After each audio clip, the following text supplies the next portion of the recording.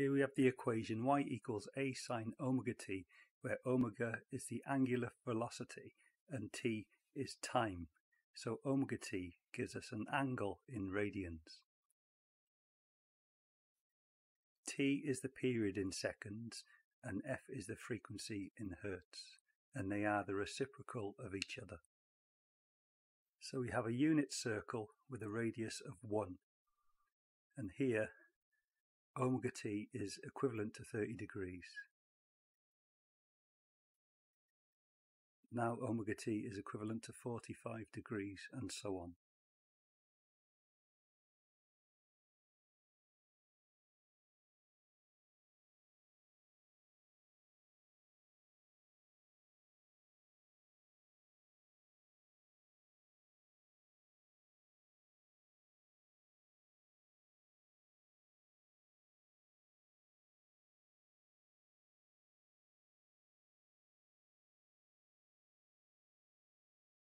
Y equals a times the sine of omega t, where a is the amplitude. y is the opposite side length compared to the hypotenuse, and the hypotenuse is the largest value, or the largest side of the triangle.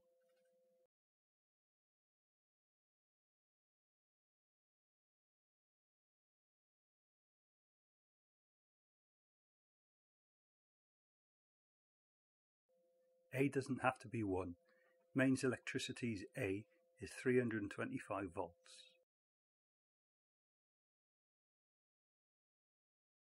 Here's an animation that shows us how Y changes as the angle increases, the angle being omega t in radians.